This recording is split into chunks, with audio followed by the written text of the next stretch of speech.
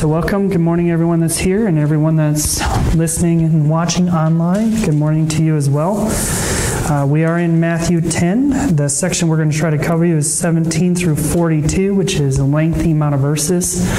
So, I'm going to do my very best to cover a lot of ground in a short amount of time. And so, will you all agree with me and pray for me in prayer? So, Father, I thank you for your word. I thank you for Jesus, who is the living word, who came from heaven down to earth so that we as human beings can see the fullness of your love, your heart, your heart for us, your eternal plan to redeem earth back to your former glory of the garden of praise and the garden of Eden, the garden of paradise. So, would you reveal love and paradise in our hearts and help us to understand the transition that you're bringing forth to make this happen? Would you be with me today, Holy Spirit? I surrender my mind and my heart to you. Would you help me to effectively, clearly, calmly, in a timely fashion communicate your truths very gracefully and lovingly for all of us to understand? I pray this in Jesus' name. Amen. All right, so I want to start where we left off as a reminder. Jesus came in the fullness of grace and truth. Grace is unconditional, unmerited favor, is who He is. Truth is the revelation of how everything's taking place in the natural realm to help us understand the spiritual realm.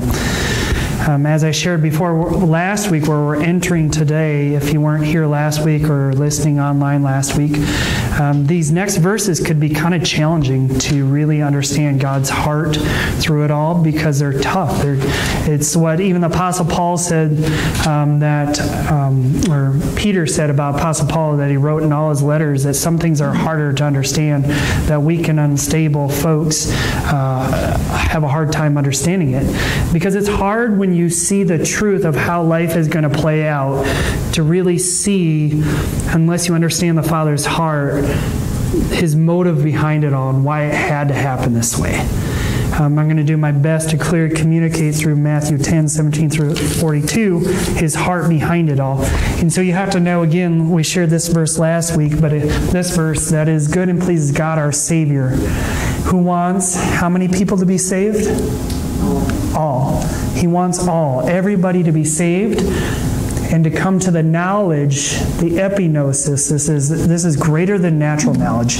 The word knowledge is either gnosis in the Greek or epignosis. This is epi, it's epic, it's greater than natural knowledge. So Jesus came down to earth to give us a spiritual knowledge which is greater than just the natural knowledge, to help us understand the heavens and the gods and how it all works out and how He is supreme above it all and His love wins out in the end. So that's the absolute truth of it all. But you need to know the Father's heart before you understand how it's all going to play out. So remember, the most common verse for God so loved the world that He gave His one and only Son, that whoever believes in Him, in Jesus, He is the way, the truth, and life. The only way to truly understand the, the, the grace of God, the mercy of God, the heart of God is through the Son. It can't be seen any other way. It can't even be seen reading this. It says that the scriptures are void without the life of Jesus. So he is the truth. He's the living word that shows us what's written in here and reveals it all. So whoever believes in him shall not perish, but have eternal life. So God's heart is he wants nobody to perish and all to be saved.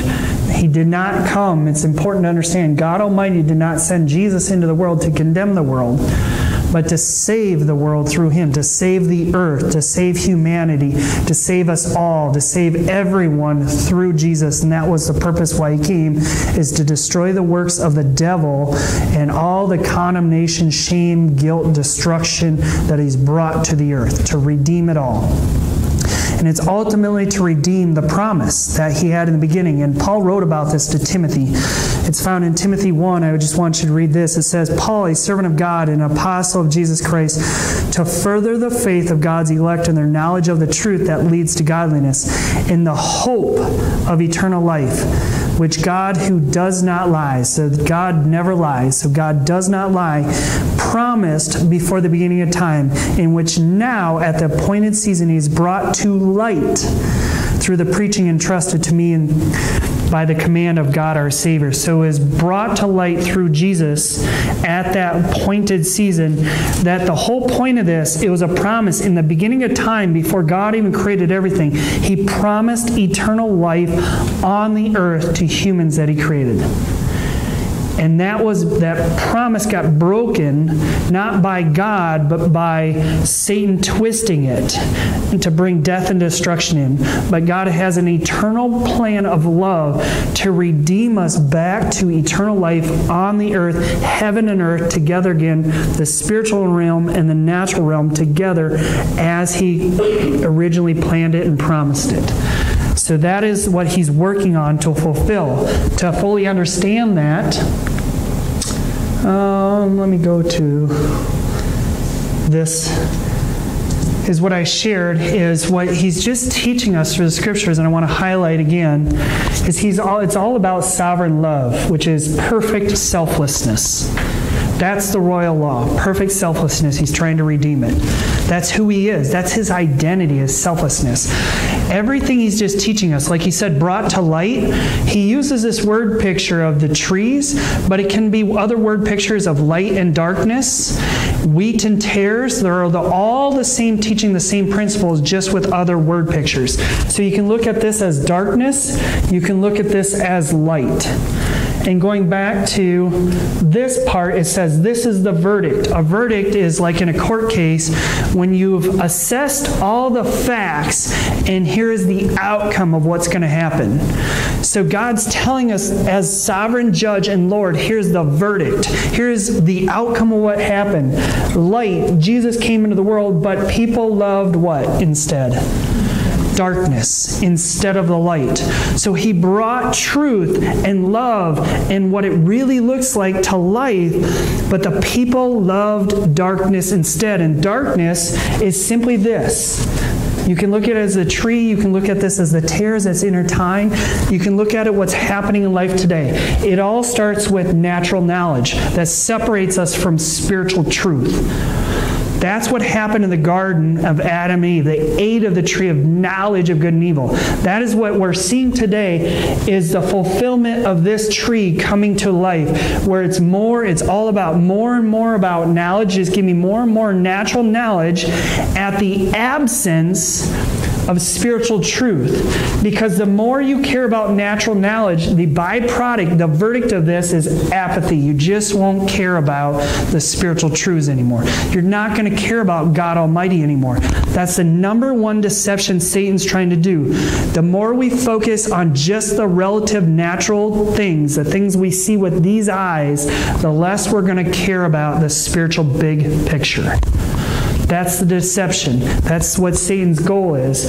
So it's creating more and more apathy, not caring about God, not caring about the big picture, not caring about the, the eternal story unfolding right before our very eyes. What is happening is just that it's all principles. It's very logical, very easy to understand when you understand the scriptures. More and more knowledge just puffs people up and creates more and more pride. By biblical definition, pride always leads to some form of destruction. First, relational, because it's self centered in nature, it's more focused on me, what I think is right versus wrong. That's what happened to Adam and Eve. What they began to create their own faith, what they thought was right or wrong versus what God said was right or wrong. They interpreted it and came to their own outcome. We're seeing the manifestation of this today. Is everybody has their own relative interpretation, what they think is right and right. The fullness of darkness, they loved. Love is what you really want to believe. What you believe is the best, you'll fall in love with. And the more you love it, the more you'll want it and desire it, and those desires will take control, and it's going to bear some outcome. And the outcome is people begin to love darkness. So as they love more and more natural knowledge without God's supernatural knowledge, it leads to more pride, more shame, more guilt, more condemnation, more arrogance, more condemning of other people. It creates more and more division, more and more separation. And then this false sense of unity has to prevail. And that's exactly what happened before Jesus' day. This Greco Roman government, here's how it works. So you can begin to see this unfolding. It's all prophesied. And you need to understand this. Ecclesiastes 3:15, which is the wisdom book. To interpret the scriptures properly, you have to understand whatever is has already been. So whatever is present has already been in the past. Whatever will be future has been before. The past is repeating. History does repeat itself. The Bible validates that. Why is that important? Because God is calling the past to account. He is calling us back to the garden to redeem that account. And he's doing it in a way that redeems perfect love on the earth, and that is voluntary. He's allowing us to decide what do we truly love the most spiritual truth or natural truth, ourself or Him. And what's unfolding on the earth is dark, more and more darkness because people are so, when you're carnally minded, you're not thinking, it's about time more than anything. You're not thinking about eternity. You're not thinking eternally. You're not thinking about thousands and thousands and thousands of years being on the earth. Your natural knowledge is all about thinking about the 70 to 100 years I have on the earth. And so I have to fulfill all these longing desires now. And that is not what Jesus taught. That is not what Jesus brought to life. He was saying, No, people, everything he taught was about the big picture, about the appointed time, about the appointed season, and about how he was coming back again and how we would live here forever with him after his return. And that eternity truly begins on the day of the Lord and what he's ushering in forever for thousands and millions of years on the earth. But what Satan's main goal is this is distraction by taking something good. Not this is why you're going to see in the scriptures. The best way I can say it is you've got to understand the heart of God. He has a love-hate relationship with the earth right now. He loves us unconditionally. And does he love just us or everyone? Everyone, because does he want anyone to perish and does he want everyone to be saved? Yes. He loves everyone. He wants none to perish. But he hates how Satan is taking something that was not only good, in the Genesis 1 through 6, it was very good. He's using things that are good and very good to distract us, to, to get us under the wrong principles that can begin to self destruct us. It's deception. The very things that are good, he's using that to destroy us spiritually. We perish little by little because we're separating ourselves from true, selfless, unconditional, unmerited love. And it's all becoming selfish and self consuming. And what that does in the soul realm is it takes your conscience and begins to close the door of your conscience and burns it and sears it and cuts it off. And then you live internally under, in the soul realm, under the, the, the control of Satan because now you live under this feeling of shame, guilt, condemnation, never feeling worthy enough. And so you feel empty and void on the inside so what it does is it produces more and more of an impulse because your heart no longer beats for something. It needs to be gratified by something in the natural realm to produce a feeling. And so the whole force that's being produced by the lack of understanding of time is this impulse of desire for more because we're trying to fulfill an eternity in 70 to 100 years. And Jesus came down screaming from the mountaintops, No! That's not right. He was trying to save us. He is God, our Savior, and trying to help us understand the fulfillment of how this is all playing out. So, this is the unfolding of it. And what's happening is this the ultimate, and this is what you need to understand as we're going into 10 the wheat and tares. You could also look at this. I know this looks as trees, but you can see this as if you picture in your mind pictures of tares, which is a weed, and wheat, which is a good seed. They're intertwined until the end. What Jesus taught us is this this is going to come to fruition, so is this. But what happens is the Antichrist comes first.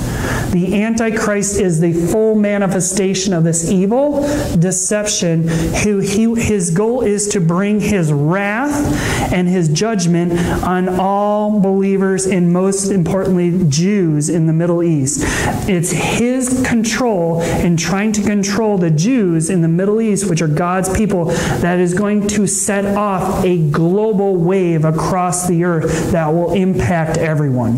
And God's response to his wrath coming out is he is going to bring the wrath of the Lamb to destroy the Antichrist, to protect us, his bride his church, his children.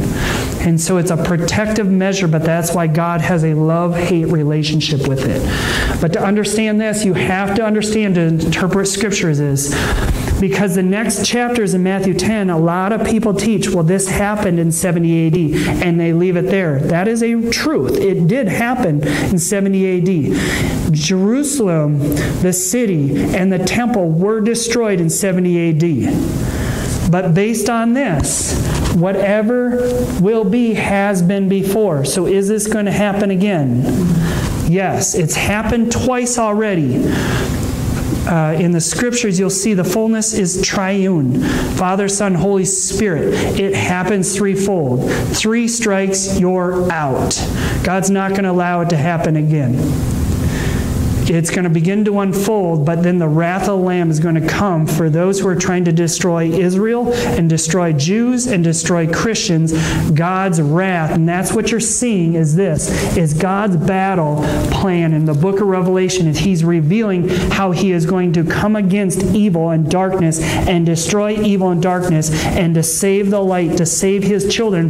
That's why the ultimate light, it says we are children of the light. It's called the kingdom of light when God comes in, here's the fulfillment that you need to understand is he saves his children after the wrath of the Antichrist comes in. It's a three and a half year period. He saves his children. He separates his children out of it. It's called the tribulation period that those who are on the earth shall go through. It's a three and a half year period and he saves us before the worst of it. This is what's unfolding in the prophets in the book of Revelation. He comes and saves through the rapture after that three and a half years, and it unfolds. But then the final three and a half years is him destroying all evil remaining on the earth. And the final judgment is the, the final picture of this is just like in the day of Noah, he purged the earth with water. That's old, oldest covenant. The newest covenant is he's going to burn everything and start scratch. Using an agricultural paradigm, we live in the Midwest. Has anybody seen when somebody burns their ditch or burns pasture? That's what's taking place. The reason you do that is you, you burn out all the weeds or all the not good stuff that was consuming that area, but you know the seed in the ground will start back fresh and new. And so, what God does in the wrath, that's why in the seven trumpets, the seals unfold, the trumpets and the bowl judgments, you're seeing God purge the entire earth of all evil, and all it is burned. And the old earth, everything is laid bare and it's a new heaven, new earth, new Jerusalem, the new children of God. The kingdom of light prevails. That's why there's no longer a need for sun because the Son, Jesus, and Jerusalem is restored to the earth. And that is what now highlights the eternal heaven and earth together. And we live as children of that kingdom of light forever and ever and ever on earth with him, heaven and earth together again. So this is all unfolding the future. So Matthew 10 says this Be on your guard. You'll be handed over to local councils and will be flogged in the synagogues. Synagogues is another name for church buildings On my account, you'll be brought before governors and kings as witnesses them to the Gentiles. A Gentile is anybody who worships anything outside of God Almighty. They're worshiping some other little g God. Um, uh, my daughter had to learn this in her history class this past week. She had a test on it. The test on learning uh, the Buddhist Buddha faith of Buddhism and Buddha, and the faith of And the Hindu gods. They're little g gods. That's taught in public schools even today. She had to learn the Greco Roman gods. And ultimately, what the scripture teaches, some people believe they're their own God. And so this is the unfolding, so be on your guard. So they're flogged in synagogue, their churches. On my account, you'll be brought before governors as witnesses to those folks of who is God Almighty, those who worship the Gentiles, other gods. But when they arrest you, do not worry about what to say or how to say it. At that time, you'll be given what to say, for it will not be you speaking, but the Spirit of the Father speaking through you. So, yes, this happened in 70 AD. Yes, Jesus talked to the disciples and the apostles apostles because he showed up at the appointed time in this story and he understood it because he opened up Isaiah's prophet and knew exactly the appointed time where he was at in this story. And he unfolded it to him and the disciples and he knew he had to die and he knew it was coming. He actually told them that this is what was going to happen. You're going to be um, set up before these synagogue leaders, before, before these Pharisees and these Sadducees, and before the Greco Roman government, before this day day happens, and it did in 70 AD. This happened in the Middle East, but it's going to happen again it's unfolding as we see, and it's unfolding in our generation. After 70 AD, the Jews were exiled and scattered out all across the world. They no longer had a nation of Israel, they no longer had a city to worship in or a temple. But in our generation, I wasn't born, but the beginning of this happened 1948. Israel became a nation. 1967, Jerusalem came back as their place to govern and to begin to worship again. And that is the main sign in this story when it says, when a nation is born again. So when you see Israel get its nation back again, it's the beginning of the end of the end It's the beginning of birth pains. What the birth pains are is, is before the new plan, the new life, the new heaven, the new earth, the new baby, the new Jerusalem, the new body, everything that's new that's supposed to come first, there's this tremor, this tribulation that's coming. And what that's saying is the pain of it is the Antichrist system unfolding on the earth that's going to produce the pain and the hurt on Christians and Jews first. And that pain we just have to endure through that process because God is bringing new light and new life and a new hope and a new glory a new baby coming forth, and there's something we can rejoice in. There's light at the end of the tunnel that's unfolding. But even for us, this will, just so you know, when you study it in Scripture, it happens most in the Middle East. But the tremor, sorry, the tremor of the tribulation period, the greatest uh, persecutions, the greatest destructions, the greatest wrath of the Antichrist and God unfolds in the Middle East. It's all laid out in Scripture. But because of what has to happen before all this, it says there will become a one world economy, just like in the tower. Remember, history repeats itself. We're working backwards in time. The revelation is you begin in Revelation and you start reading back to Genesis. What we're seeing is the unfolding of that, like the Tower of Babel. The Tower of Babel was where they could all begin to speak and communicate in one language and unfolded an economy all as one together and they begin to create their own self gods and their own pride and their own ability to self govern across the entire world. And they begin to create their own false sense peace and unity under this veiled guise of whatever is right for you is right for me. And there was a false sense of religion and peace that prevailed on the earth that as long as it's good for you, it's good for me. But that only works for a period of time because Satan wants everybody everybody to worship him. And he's going to eventually, the Antichrist, which is Satan on the earth, is going to rise up and he's going to say no. And he's going to take, try to take control. But Jesus is going to come back and say, uh uh-uh, uh, that's not going to happen.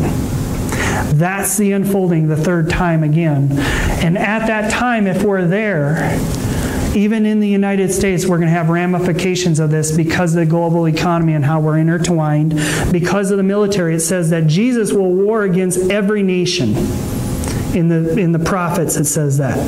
So every nation is going to set off a World War III, and every nation is going to be part of this, and good and evil are going to be part of this whole thing, and it's going to just set out a global wave to this whole thing. We will experience it in part. The fullness is going to be in the Middle East, but we're going to be experiencing it if you're here in part. And that's why we need to watch and pray and prepare for this. But we don't need to live in fear because the power of the Holy Spirit and the wisdom and understanding, because we see it and know it and know how it unfolds and how to be safe and spared and overcome through the midst of it because God's goodness, He's revealed it through Jesus Christ already to us. But it does go on to say in 21 brother will betray brother to death, and father his child, and children will rebel against their parents and have them put to death. This is happening in part. We're already seeing a lot of rebellion occur because people don't want to listen to their parents anymore. They don't want to listen to that because this level of knowledge is prevailing that this pride that begins to enter and this sense of self justice like i want what i want and and and and what i need is most important and i'm willing to do whatever i want. And so you're seeing this rebellion happening in part. But it says that it's going to just continue to get magnified more and more until the end to the point, and what you're going to see is where true colors really come out. When a hard trial like this is called a great and terrible day because true colors really come out when people are really hard pressed. You'll begin to see who truly loves you and who doesn't, who are true friends and who aren't. When hardship comes, when people are hard pressed, what level of intimacy do you really have with those folks? But it goes on to say, You'll be hated by everyone because of me. That's Jesus. So, this is Christians got to be prepared. We are going to become the ones that people hate because we believe in God Almighty. We don't submit and surrender to this believing and worshiping other gods because we understand those other gods are not really for them, they're against them, and they're destroying them little by little. It says, You'll be hated by everyone because of me, but the one who stands firm till the what?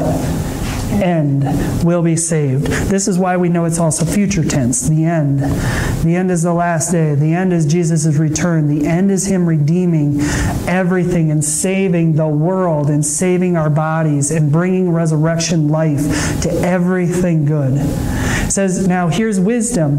When you're persecuted in one place, what does it tell us to do? Flee to another. Jesus showed that in wisdom. Jesus was persecuted, and so were the, the disciples and apostles certain times, and they would just go to the next town. When it becomes this hard pressed, one has to use wisdom that Jesus used if they want to continue to have an impact in the natural life today. Jesus even knew that. He knew if he stayed in certain places, his life would have ended prematurely versus fulfilling what his father asked him to do on the cross. That's why he would say to the disciples, I can't go there, or I need to go here, or here's where the Spirit's leading me. He would go from one place to the next. For him to fulfill his calling, he learned that there's a time to build up and a time to break down, as wisdom in Proverbs says. It says there's a time to plant and a time to uproot. In my natural family, we are naturally planted here. But if we need to uproot and move somewhere else, we will. This church will. I'm hoping and praying that this will be a place because it says it will be like Sodom Gomorrah. It will unfold like that. Those are that's an part of the judgment that's coming. It's fire judgments from heaven. That Sodom and Gomorrah were destroyed in the last day, but the small town next to it was spared. I'm praying that Beaver Creek, Hills, Luverne, Steen, all of Rock County, this area where I'm naturally rooted, is going to be a safe haven in the midst of this all unfolding, that we can remain here. But that is yet to be foreseen because for that to happen, human beings have to choose to partner with Christ and to live in the principles of the kingdom of God for that to prevail light has to be established firmly in that area, or else darkness will prevail like it did in Sodom and Gomorrah, and the government and the people prevail there, therefore the judgments happen there. And it's important for us to understand how this unfolds. Truly, I tell you, you will not finish going through the towns of Israel before the Son of Man comes. That's why we know, again, this is prophetic in nature. It's his second coming because he had already come before this. The student is not above the teacher, nor the servant above his master.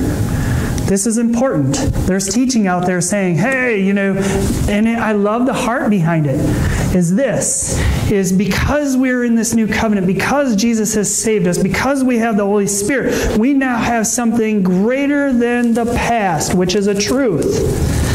But we're not greater than Jesus. The new covenant does not usher in something that was greater than our master Jesus. We are not immune to persecution. Jesus and the disciples weren't either.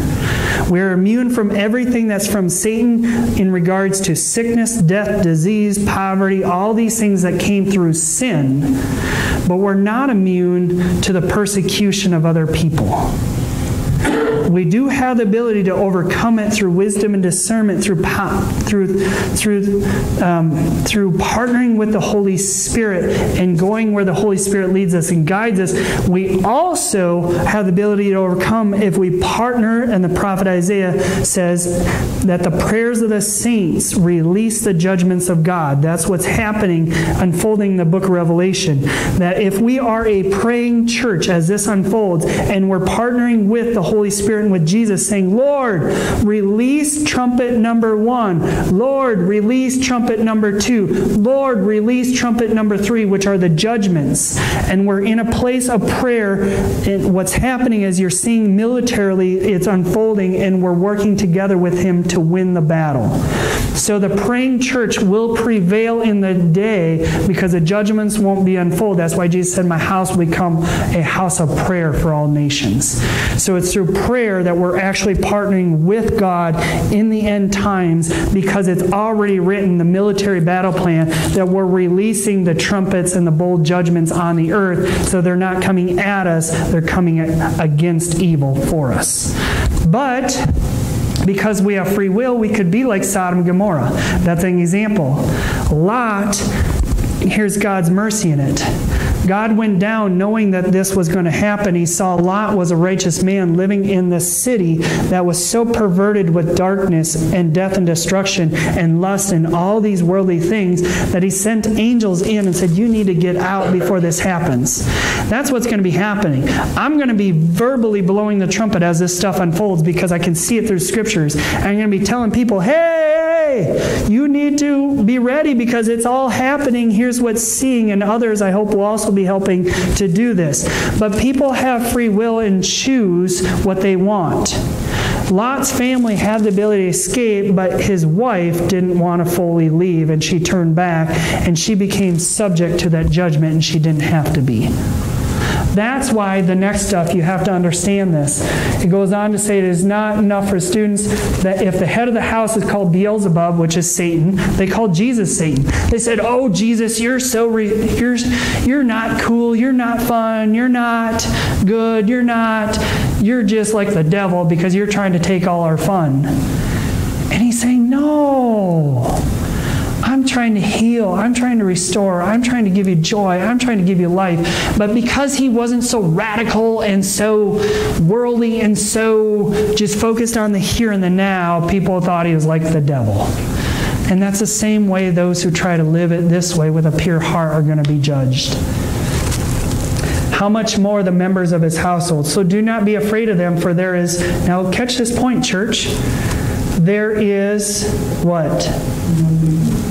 Nothing, no thing concealed that will not be disclosed. What that's meaning is nothing is hidden can stay there. In your heart, in your head, God already sees it. He knows inside our head and heart. He's spirit. He sees spirit to spirit. So there's no sense to fake it to make it. Just be real and be honest. But God also sees what's happening, the evil inside of heads and hearts. And nothing that's hidden is going to remain hidden. That day, the light of Jesus' return is going to expose all darkness. Nothing hidden is going to remain. It will all will not be disclosed or hidden that will not be made known. It is all going to be revealed when Jesus returns because when the heavens split open and every eye sees that God is real, nothing is going to be hidden anymore. What I tell you in the dark, this is for us. Speak in the daylight, because everything he told the disciples and us in the darkness is all about goodness and light and life and eternity and truth. He's saying, tell people the big picture. Help them to understand the real, what's happening, what's unfolding, what is whispered in ear. Proclaim it from the roofs. That's what I'm trying to do to people. I'm trying to get people, just so you know, in the heart of humanity, everybody wants a great awakening. It's not going to happen like that. It is, but it isn't. The Bible commands us to stay awake, not to reawaken. It says, do not fall asleep. It's the, to stay awake means you see the light in your heart and you have understanding of eternal truth. And the big picture, it's saying to remain awake is to have an understanding of the big picture and what's happening in time. That's how we remain awake. It says, do not fall asleep like the rest of them. Do not get darkened into your understanding like the rest of them, or else you'll reap the same hard hardship that they're going to face. But it says, speak this. It says, do not be afraid of those who kill the body but cannot kill the soul. So we're not to be afraid of this because God is going to resurrect. He's going to, there is eternal life. We don't need to fear death. You are, if you're a believer in Jesus Christ, no matter what happens to you this day, when He comes, you're going to get your body back. It's going to be renewed and glorious and beautiful, and you're going to live forever and ever on earth and have all eternity to enjoy heaven and earth together again. That's the absolute truth. He says, Don't be afraid of those who are just carnally minded, that think if they kill you, then they've won because they haven't. But he said, Be afraid of the one who can destroy both soul and body in hell. That's the final destruction. That's, that's the absolute truth. Is Jesus Christ is the final judge. There is only one judge, and he has the ability to destroy not just body, but body and soul in hell eternally. That's the final judgment day where he and all has prevailed between light and darkness, and everything's been exposed, and he's going to destroy all evil so that all good can live forever and ever. Here's the value you and I have to him. It says, Are not two sparrows sold for a penny? Yet not one of them will fall to the ground outside of the Father's care. And even the very hairs on your head are all numbered. Praise Jesus, David, right? Praise Jesus. Troy, right? Satan destroyed my hair. This came out when I started a business. And I got under a lot of stress and death and destruction, and my hair started to fall out. But God knows how it works because I know how science works, and they have to have living organisms in here to make it all work. And God is going to, re- you know, the good news, brothers? It says in Proverbs, for everything that Satan stole, we get sevenfold back. I'm going to have a sweet head of hair coming. It's going to look like her back there, my beautiful daughter that has a beautiful head of hair. But God values us, church. Whatever you've lost, mine is hair, yours might be something else. It might have been some other form of health or relationship. Some of you have gone through other health problems. God's going to redeem that. Mine's just my hair, yours is something else. God is going to restore and redeem that and make it even better. That's the hope of what's coming. Even the very hairs of your head are all numbered. So don't be afraid. You're worth more than many sparrows. Whoever acknowledges me before others, I will acknowledge before my Father in heaven. But whoever does what? Disowns. That's the key important. Whoever sins or whoever disowns. Big difference. It's not about sin anymore. It's whether you own your faith. You, what I can't do for you is you have to own this understanding. Have to possess it in your heart. Believe it with all your heart and profess it with your mouth. Because it says, whoever professes me, believes, owns their faith, and professes is this. But whoever disowns me, does not believe it, or who doesn't profess it, says, I will disown my father. That's the final judgment. The final judgment is when this, at the end of the harvest, it says, all souls, every eye is going to see Jesus coming back. Whether you're seeing it from heaven, earth, or Hades. Hades is a holding tank for disembodied spirit beings. Say this again I am a spirit. I am a spirit. I have a soul. I live in a body. Your body does not identify you. Your spirit. You are a spirit being. And so, for those who have not understood it, who are in Hades, everything in the final judgment comes back, and God separates the. It says the sheep from the the uh, the goats is another analogy he uses. Believers from non-believers. And those who own him, their inheritance is heaven and earth. The meek shall inherit the earth. You inherit, we inherit, we get the promise back for all eternity.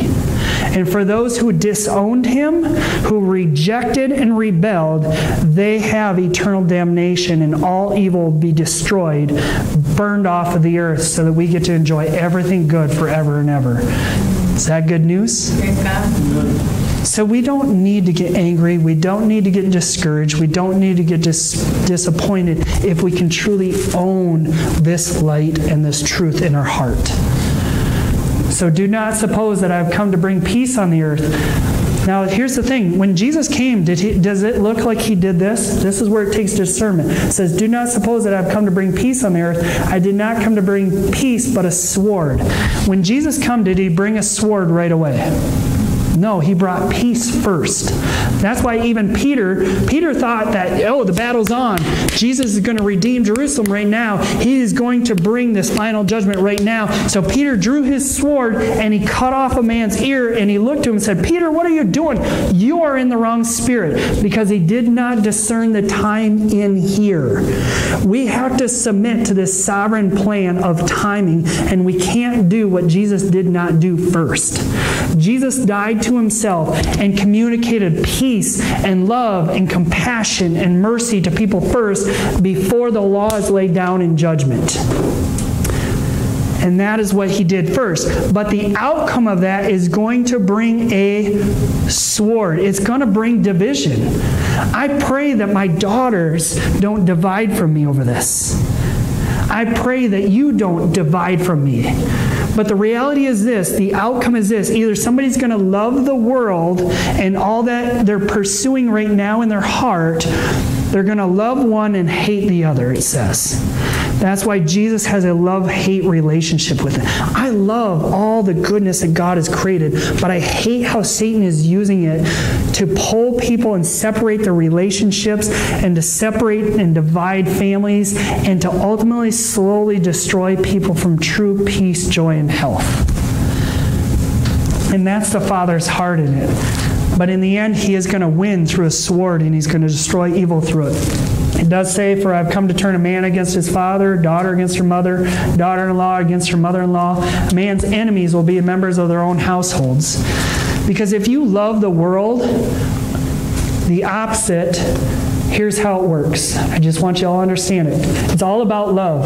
It starts with apathy. But the more the less you care about something, it just slowly pulls away. And the more you love one thing, you're eventually what's the opposite? You're eventually going to hate the other. And you're it's all about guarding and shepherding the heart. So to start bringing it to the final conclusion, Anyone who loves their father or mother more than me is not worthy of me. Anyone who loves their son or daughter more than me is not worthy of me. Whoever does not take up their cross and follow me is not worthy of me. That word worthy, I was meditating on it, and here's what the Lord revealed to me it, worth, value equals likeness. The word in the Greek is likeness, it's what it's like.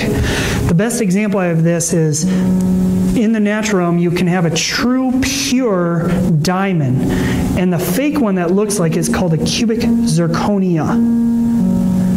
Now, the value and the worth of that is completely different. To the naked eye, if you don't look up close, you don't see the quality of the truth of it. But unless you know the truth of the purity of it, you really understand the value and worth of it. So it's all about likeness. What Jesus is saying here is this Anyone who loves their mother or father more than me is not like me. Anyone who loves their son or daughter more than me is not like me. Whoever does not take up their cross and follow me is not like me. Because what he's showing is how he prevailed in true selfless love. He loved his Abba Daddy Father in the sovereign plan of redemptive love more than he loved presently the natural realm because he, why? Hopefully you can get this point. He had to live out the big picture first because he loved us so much. Because if he didn't submit to this big picture first, he couldn't have saved and redeemed and restored us and his family in the end. Does that make sense? So that's the love hate relationship he has with this. He hated, that's the Garden of Gethsemane, where he wept blood because he, he understood how it all works. And it, it mourned and grieved his heart on how Satan is doing this so deceptively and deceiving people that hurt him so badly that he, he, he poured out blood and sweat and tears. And it grieved him because he didn't want to leave us, his children. He didn't want us, it grieves him to see us go through hard times. It grieves me when I see my daughter or daughters go through times that they don't have to experience because I see and understand more the bigger picture.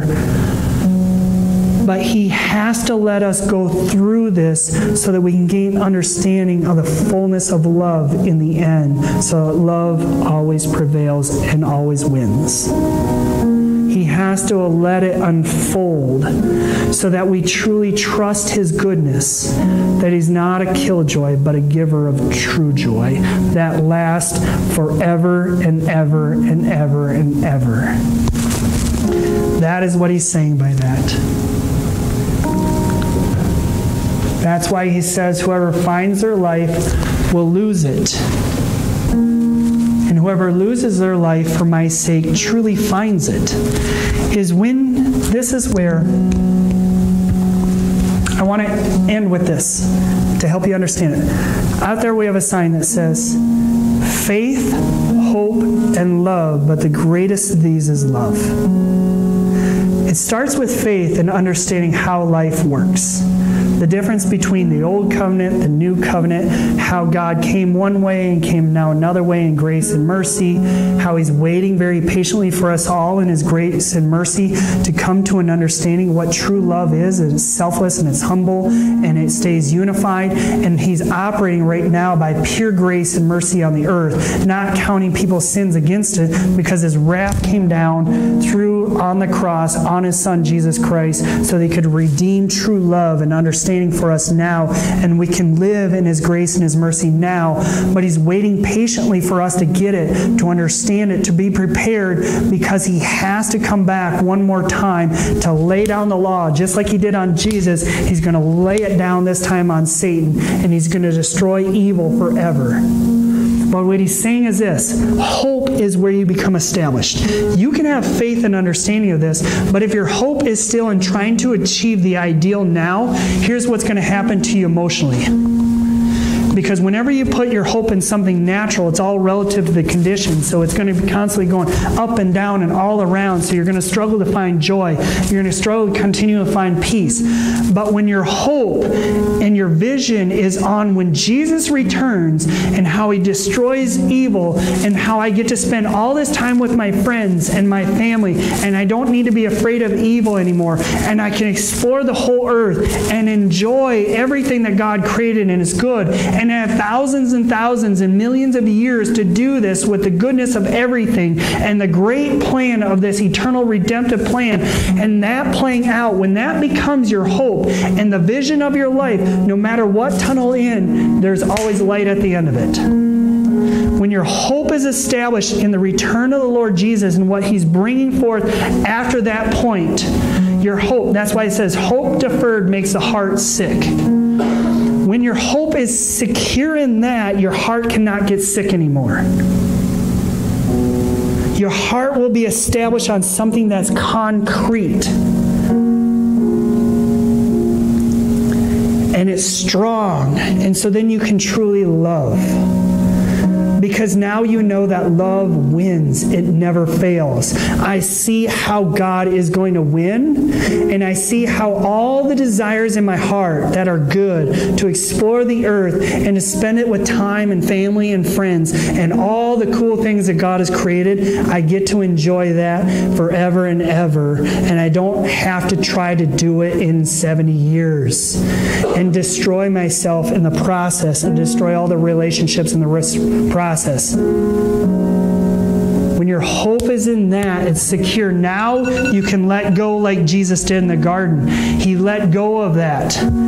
It said, For the joy set before him, he endured the cross. He could lay down his life because now he went from mourning to joy because no matter what happens now, there's something better coming.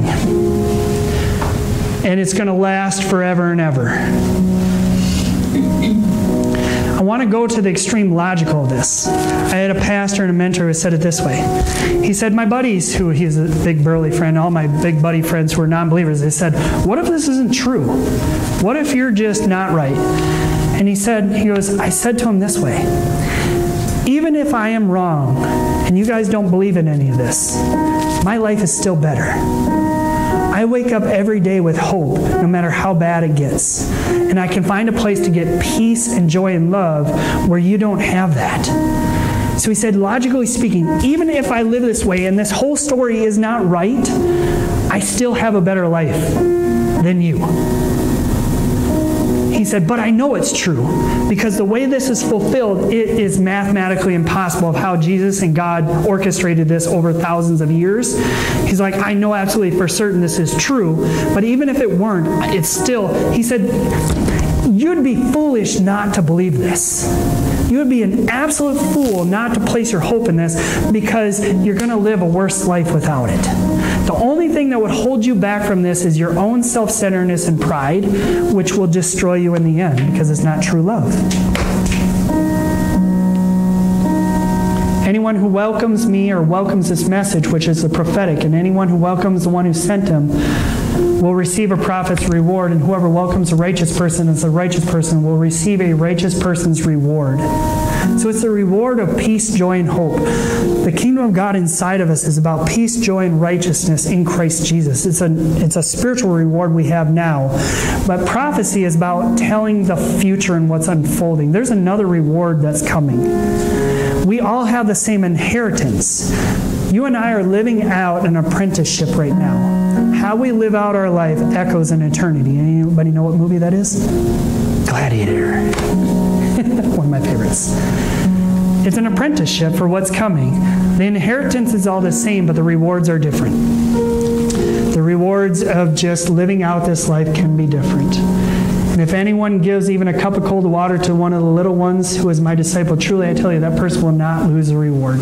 God values the little things. God values when you lay down your life in compassion and love for other people, giving your life like Jesus did to other people, it will be rewarded when He returns. I end with this the Lord is not slow in keeping His promise.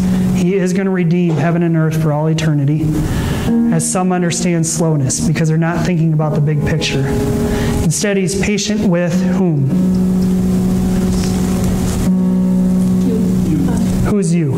Raise your hand if you're you. He's patient with us. Why? Because does he want any of us to perish? No. But he wants everyone to come to repentance. Repentance means change your heart. Stop thinking just carnally about 70 years because that's not the absolute truth. You have to begin to repent. Change your heart to thinking about the big picture eternally. And that is what will give you life and give it to the full. It's a promise.